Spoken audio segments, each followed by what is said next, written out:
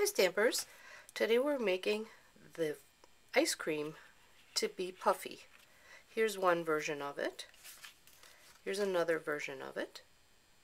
So let's get started.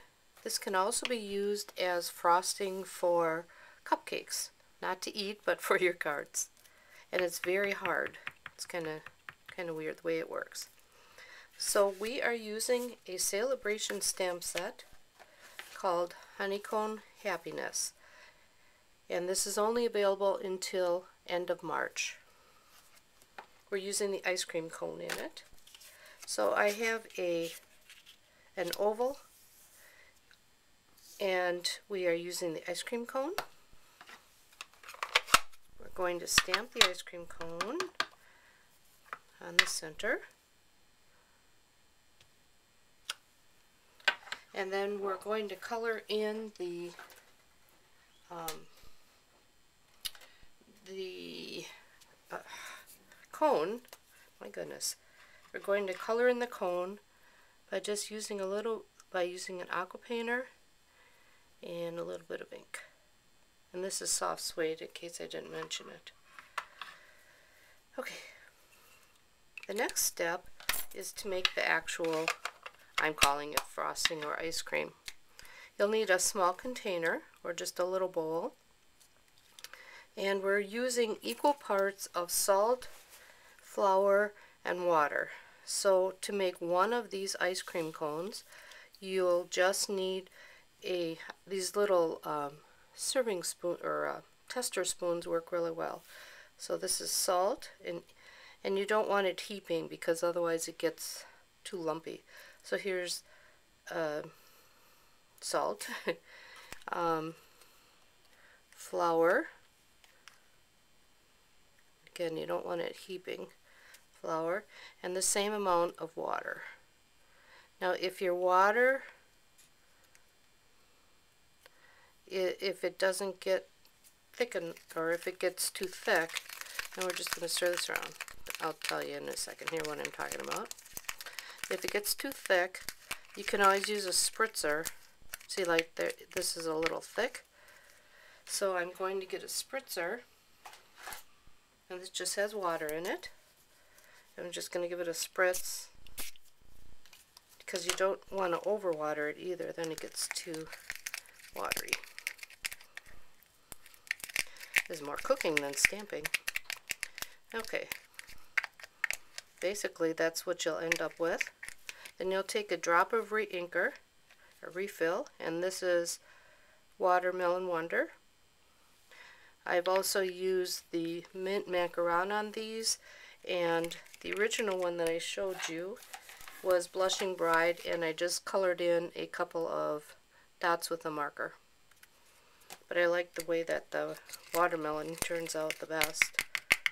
It's a nice bold color.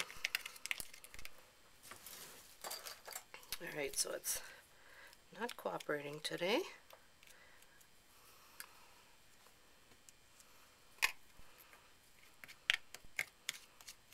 I guess I need another spritz of water.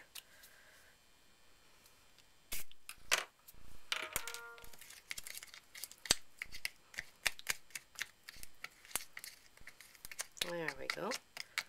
So that's really all you need for one of these. If you want to double the recipe, you just do two scoops and it's easy to figure out. Move these out of the way so when I emboss them, it won't be so difficult.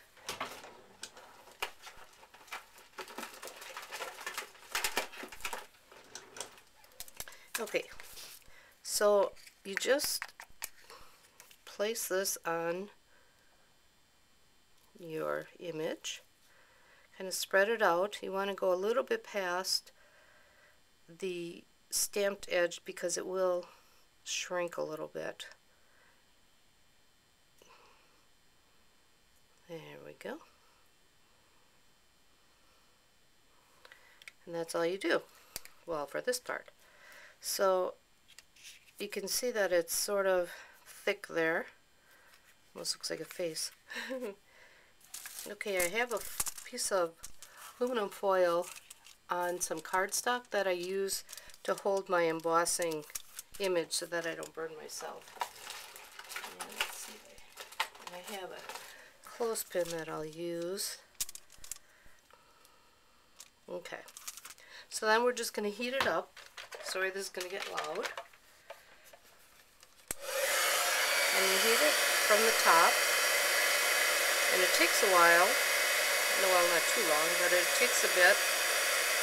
And you'll see it just pop up all of a sudden. And then you'll know it's finished.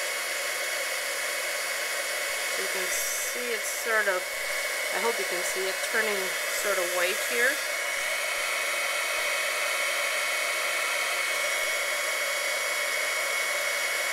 There, now it's, it's turning much better. It's drying out basically.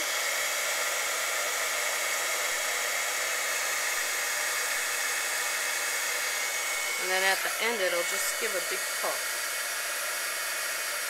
And you can see I'm going pretty close to the image, but you want to be careful you don't burn the paper. There, now you can see it puffing up, I hope.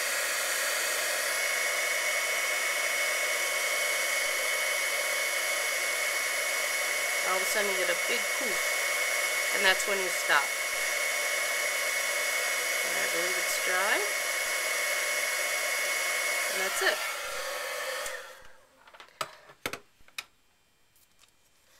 See, it's, uh, it's puffy. Now you don't want it, if you want it to stay puffy like this, you want to not touch it until it's completely cooled down. Um, this one, I was playing with it and I puffed it down and then it got real flat and probably not the look you necessarily want. So after you have this, like this, then you just put your card together. Now you'll need adhesive pretty much on all of this because this will buckle from the water. So I just used the Tombow glue and I'm putting it on this part. It can be a little generous but thin and then just let it dry on there. Again, if you if you were to touch this now, still warm, then it would collapse. So if you want it puffy, and it does get very hard when you're once it does dry. There we go. And then to complete the card, it's a very simple card. I just used a the white thick cardstock, a piece of mint macaron, four and a quarter or four by five and a quarter, and I embossed it with the confetti embossing folder and just took a little piece of the birthday paper with the um, ice cream cones on it and that's where I got my color palette from and then this all gets glued together and you glue this on there again with your Tombow glue and that's all that it takes for this particular card. Thanks for watching and have a great day.